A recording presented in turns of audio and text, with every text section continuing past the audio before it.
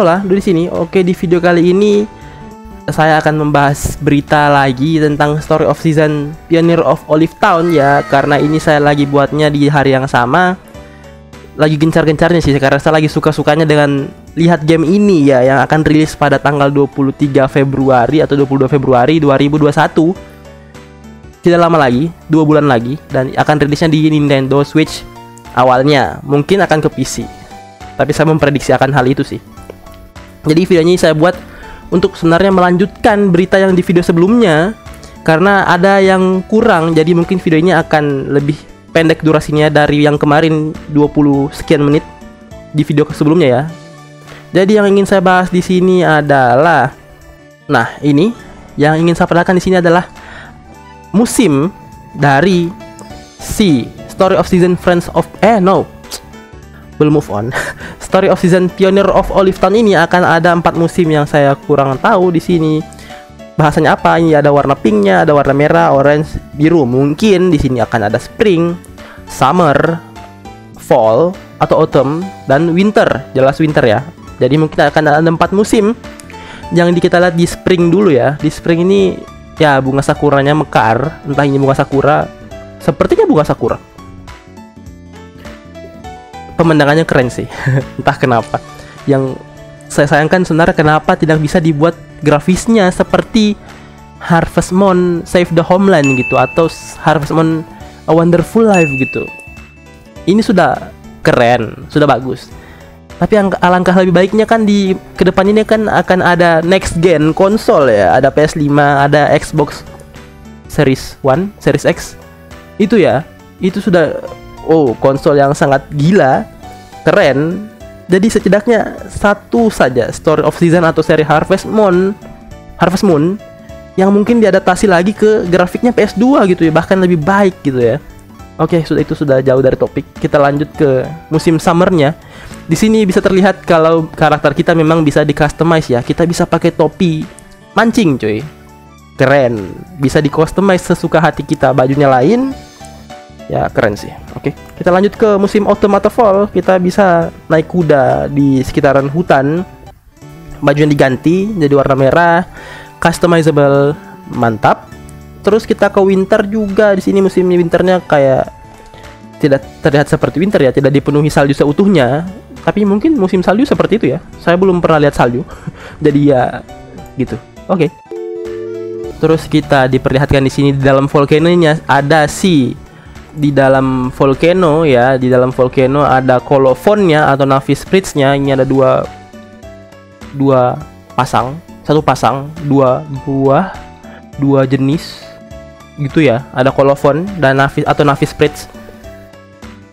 Terus nah di sini kan ada kemarin tuh ada island apa island di video sebelumnya ada island in the sky atau pokoknya ada pulau dari awan nah di sini tempatnya jadi seperti kayak ada sulur-sulur yang naik ke atas seperti di cerita rakyat. Aduh, cerita apa itu? Yang bisa naik ke atas terus di atasnya ada raksasa besar itu. Ini penggambarannya akan jadi seperti itu, tapi di atasnya mungkin ada apa saya kurang tahu ya. Tapi kalau yang seperti ini jadi jadi mengingatkan saya ke seri Harvest Moon yang saya tidak mainkan itu, yang saya mainkan cuma sedikit sekali. Tapi saya tahu ada sesuatu di atas awannya gitu, jadi kita bisa ke atas awan. Saya lupa seri Harvest Moon apa. Bukan Story of Season ya, ini seri Harvest Moon, jadi yang sudah pindah dari uh, Exit yang Natsume punya, Natsum punya, bukan Marvelous, mengingatkan saya dengan game yang satu itu, gitu ya. Oke, kita lanjut ke tab selanjutnya. Nah, di tab selanjutnya ini akan ada diperlihatkan lagi dengan lebih detail cara memancing dan di sini yang dipancing apakah ini ya? Ini sepertinya terlihat seperti kepiting atau ikan yang nyonya puff itu ya. Saya kurang tahu, tapi cara mancing itu mirip dengan Stardew Valley, entah dia di barnya ditahan-tahan di atas gitu. Ataukah dia harus dikasih full saja? Masih belum terlihat jelas apa ini. Soalnya warnanya sama semua biru ke sini semua hijau ke sini semua. Terus di sini akan ada ikannya ini ya atau jenis-jenisnya ini. Entah itu tanaman entah itu hasil panen. Akan ada bintangnya ada starnya yang menggambarkan dia itu uh, kualitasnya apa gitu ya. Di sini hanya bintang tiga biru yang mungkin kalau full nanti harganya akan lebih mahal dan mungkin kualitasnya lebih baik lagi gitu ya. Nah ini dia diperlihatkan yang banyak bintangnya Di sini ikannya ikan langka, saya tidak tahu ini ikan apa, tapi apakah ada? Pokoknya gitu ya, ya. Banyak ikannya, banyak jenis ikannya juga. Jadi lebih fresh gamenya. Tidak hanya ikan-ikan itu saja. Oke, kita lanjut ke tab selanjutnya. Nah, ini juga yang ingin saya perlihatkan di tab ini ada gambar nih. Gambar ada sapi, ada kerbau, ya ada nanti di sini ada, akan ada kerbau, ada domba, ada lama. Yang ingin saya perhatikan, yang ingin saya perlihatkan kepada kalian adalah ini si ayam yang warnanya silver. Nah, bandingkan dengan ayam yang ini ya, ini warnanya merah. Terus yang ini warnanya silver gitu ya. Entah itu menggambarkan apa? Apakah dia nanti menghasilkan telur platinum? Apakah dia nanti menghasilkan telur yang kualitasnya jelek saya kurang tahu tapi ini mungkin sepertinya ayam yang langka yang mungkin menghasilkan telur yang mungkin juga langka gitu ya. Dan sepertinya bukan hanya si ayam yang eh, jangan dulu bahas yang itu. Di sini akan ada sprinkler seperti di Stardew Valley lagi. Tidak bisa dipisahkan ya game dua, dua game ini menurut saya karena memang uh, similar genrenya sama. Bukan berarti jelek dan membandingkan yang satunya itu jelek juga bukan sama-sama bagus makanya dibandingkan gitu ya. Ada sprinkler jadi membuat kita lebih easy dalam menyiramnya karena nyiram gini mampus juga cuy. Nah, ini game jadi mungkin kalian bilang ah bang kalau pakai sprinkler itu jadinya kayak bukan bertanam lagi bang. Terlalu otomatis. Bayangin aja lu e, di sawah e, nyiram satu persatu ya dibajak satu-satu bukan pakai mesin lagi bukan pakai kerbau satu-satu dibajak ya tolonglah. Ini game juga ada waktunya dari jam 7 sampai jam 12 malam atau dari jam 6 sampai jam 12 malam. Selesai satu hari jadi harus ada otomatisasi yang seperti ini. Bedakan kehidupan nyata dengan game. Kecuali gamenya nanti sehari di, di dunia nyata 24 jam kalian main ya bolehlah. Jadi jangan diprotes ya yang itu di sini juga ada sumur, bisa dibuat sumur dan saya ingin memberitahukan lagi di sini sepertinya akan ada lebah karena di gambar yang pertama nanti mungkin saya kasih lihat kalau tidak lupa. Di gambar pertama itu akan ada beehive atau saya kasih lihat langsung saja ya daripada lupa edit. Ini di sini ada beehive, ada lebahnya. Jadi mungkin kita bisa membuat madu sendiri bukan dari pohon ya. Kalau di kemarin di pohon kita sekarang kalau mau cari madu, mencari lebahnya, kita buat dulu sarang lebahnya gitu. Oke, itu hanya sekedar tepis-tepisan saja. Di sini bisa dilihat banyak mesin yang bisa kita buat ya. Mirip lagi seperti Stardew Valley, bukan mirip dalam membandingkan hal yang jelek ya. Maksudnya ini game tiruan matamu. Ini lebih duluan ya. Ini dari game 1998 meskipun namanya masih Harvest Moon.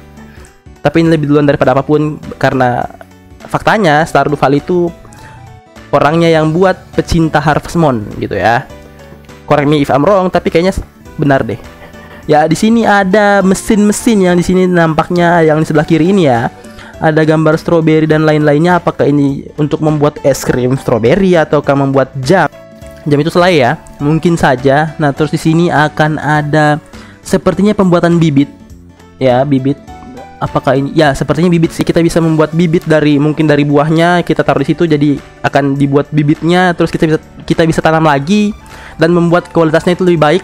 Mungkin saja Terus di sini saya kiranya tadi emas batangannya, tapi bukan karena di sini ada gambar sapi ya. Di sini gambar sapi kalau saya tidak salah lihat. Jadi mungkin ini membuat sapinya susunya emas gitu bukan lah ya. Jadi mungkin untuk bahannya bisa terbuat dari sapi apakah itu kulit sapi, uh, susu sapi, anak sapi tidak. Pokoknya untuk sapi-sapi lah. Dan di sini akan ada yarn uh, bola gulung bulu benang benang bulu gitulah ya. Jadi mungkin ini bisa digunakan untuk bahan kita untuk membuat misal baju sweater. Jadi mungkin di sini banyak customisasinya ya. Jadi mungkin saja itu terjadi oke?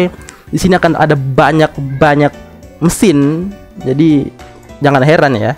Ini memang story of season versi baru sih. Maksudnya yang beda dari sebelum sebelumnya nah ini saya perlihatkan lagi sedikit kudanya warna hitam. Jadi kudanya bukan cuma satu warna. Makanya saya bilang itu banyak kostumisasi di sini entah kuda, entah di video sebelumnya itu Vespa, serigala. Jadi mungkin itu satu hal yang sama bisa jadi dalam kandidat pet yang bisa dinaiki ya. Jadi mungkin saja Vespa itu bisa dinaiki termasuk kandidat pet tapi maksudnya bisa untuk dinaiki ke mana-mana ya. Entah bisa Vespa, serigala, kuda dan itu mungkin banyak warnanya. Serigalanya mungkin bisa jadi warna merah, jadi warna hijau. Kudanya tadi yang kemarin coklat sekarang hitam. Jadi banyak kostumisasinya. Jadi ini game yang excited dan mungkin kalian harus beli kalau ada uang ya dan masuk ke PC tentunya. Kalau kalian punya Nintendo Switch, silakan di pre-order sekarang karena pre-order sudah buka. Nah, di sini ada tel ini telur kan? Telur coklat. Dari mungkin mungkin dari ayam yang warna coklat kalau ada. Ini kandangnya. Di sini ada ayam silver juga. Apakah ini telur dari ayam silver ini? Saya kurang tahu. Terus sini bisa jadi ada Vespa lagi. Benar kan? Kan kemarin Vespanya warna kuning di video sebelumnya, sekarang Vespanya warna merah. Jadi mungkin bisa dinaiki. Mungkin, mungkin ya. Terus di sini ada mesin lagi, entah ini mesin apa, pembuat madu atau pembuat kalau dari telur ayam itu apa ya? Ya gitulah ya. Terus di sini ada dekorasi-dekorasi yang bisa kita buat, entah pagar, entah ini daun-daun yang sapi ini ini keren sih. Jadi banyak bisa eh banyak kostumisasinya lah. Nah, ini ada di sini juga terlihat ada tulisan new ya baru. Nah di sini material yang seperti uh, kayu, uh, grass, rumput, flower bunga dan stone batu itu bisa dibuat ketika cultivating and living on a ranch. Jadi kita bisa membuatnya itu saat di farm kita menjadi sesuatu yang lain gitu ya. Ba menggunakan material-material seperti kayu itu bisa bisa dipakai bikin ini. Ini apa ya? Lantai kayu gitu atau dinding kayu gitu Nah ini juga kayunya bisa dibuat seperti ini dan mungkin nanti ininya untuk membuat isi barang-barang ini menggunakan kayu dan material ini jadinya ini gitu ya. Jadi untuk membuat sesuatu kalian membutuhkan material yang lain dulu digabung-gabungkan bisa jadi sesuatu itu. Itu. Jadi ini videonya mungkin akan panjang lagi. Jadi ya sudahlah ya. Karena infonya menarik gitu ya. Tapi kalau kalian masih mau cari sendiri infonya jadi kalian tinggal lihat di sini bokumon.com slash series slash olive slash farm tab equals craft gitu ya. Dan di sini bisa bikin banyak bak mak makanya banyak makanan various cook e, berbagai macam makanan ya. Wah ini keren-keren sih. Dan nampaknya mantap-mantap. Ada spaghetti bukan mantap-mantap ya. Mantap. Spaghetti ada kepiting apa ini ada pizza dorayaki bukan dorayaki omelet uh, ada pie di situ. Uh, such a nice game. Oke. Okay. Nah, ini yang tadi saya bilang ada beehive. Jadi kita taruh bunga di depannya, terus di belakangnya ada kita taruh uh, kandang lebah, kandang lebah, sarang lebah. Dia bisa menghasilkan madu nantinya, gitu. Oke. Okay. Di sini juga ada bisa membuat jamur. Uh. Looks good. Jadi di mana-mana tidak perlu cari-cari ke sana kemari ya. Di sini kita bisa buat semuanya sendiri. Ya, kayaknya sudah kelamaan dan sepertinya info-infonya sudah semuanya. Terus di video selanjutnya akan ada kandidat-kandidat uh, menik kandidat marriage apa yang bisa dinikahi lah yang cowok dan cewek dan warga-warga yang ada di Olive Town ini. Jadi make sure kalian subscribe dulu. Bantu channel ini ke 1000 subscriber ya karena di sini sekarang di videonya dibuat sudah 900 subscriber, nanggung 100 lagi. Jadi buat kalian yang nonton dan belum subscribe, tolong subscribe-nya buat channel ini jadi 1000 subscriber. Kalau bisa sebelum tahun baru lah ya. Oke, mungkin sampai sini dulu videonya. Jangan lupa subscribe karena di video selanjutnya akan ada kandidat marriage dan um, detail tentang warga-warga yang ada di Olive Town. Sampai sini dulu videonya. Doi pamit. Ciao.